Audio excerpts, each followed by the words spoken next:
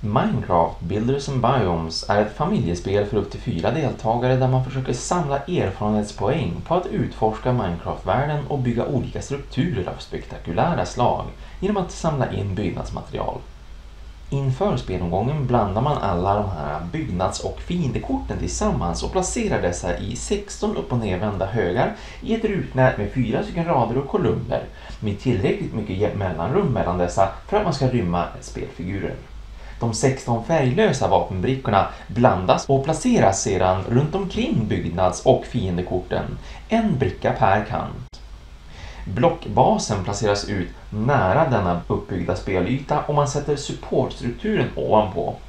Därefter häller man ner alla resursblock, skakar till supportstrukturen och plockar sedan bort denna för att på så vis ha skapat en stor kub med resursblock. Slutligen väljer varje spelare en färg och tar ett motsvarande spelarbräde en basklämma, en erfarenhetspoängmätare och fem stycken vapenmarkörer av denna färg. I basklämman så placerar man därefter valfri pappersfigur. Erfarenhetsmätaren den placeras på noll på det egna spelbrädet medan vapenmarkörerna blandas och placeras upp och ner i en stapel.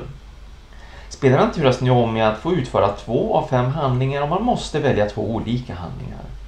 Målet är att ha samlat flest erfarenhetspoäng efter tre spelrundor där varje spelrunda avslutas med en poängräkning.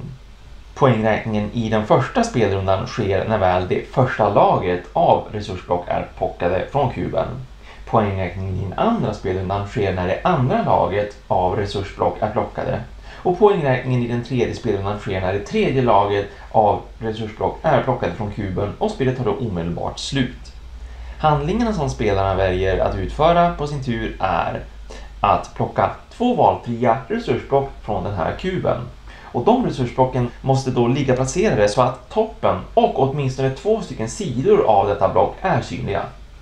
Man kan flytta sin pappersfigur upp till två stycken steg eller stå stilla, där ett steg räknas som en sån här korsning av de här korthörnen. Därefter vänder man upp de översta korten av alla de högarna vars hörn pekar mot ens pappfigur. Har ett eller flera av korten här redan blivit uppvända sedan tidigare så låter man dem vara. Man kan välja att bygga den struktur som visas på ett byggnadskort angränsande ens spelfigur.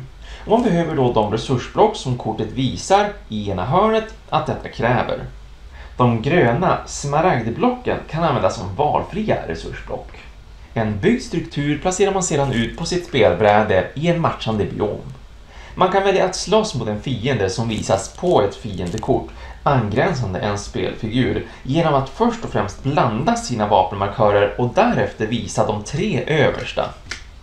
Om antalet hjärtan på ens markörer uppnår eller överstiger antalet hjärtan på den fiendekortet som man vill slåss mot, då besegrar man denna fiende och mottar lika många erfarenhetspoäng som kortet visar.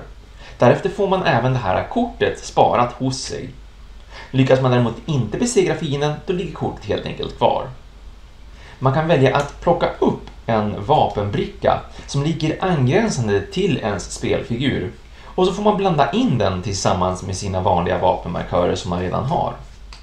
Den här högen med vapenmarkörer går för övrigt att titta igenom när som helst under spelets gång men behöver därefter då blandas på nytt.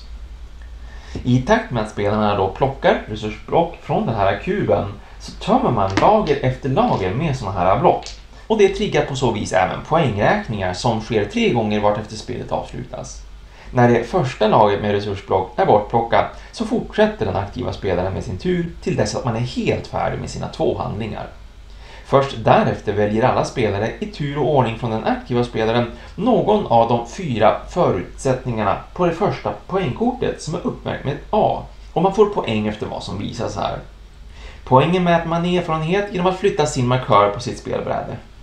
När det andra och tredje laget med resurskuber väl har blivit tömda så gör spelarna på precis samma sätt men väljer istället en förutsättning från det andra och det tredje poängkortet uppmärkta B och C respektive. När den tredje poängräkningen väl är över, då erhåller spelarna även extra poäng för vissa av de uppmärkta besegrade fienderna som man har i sin samling av besegrade fiender. Och den spelare som då har samlat ihop flest erfarenhetspoäng på sitt spelbräde vinner spelomgången.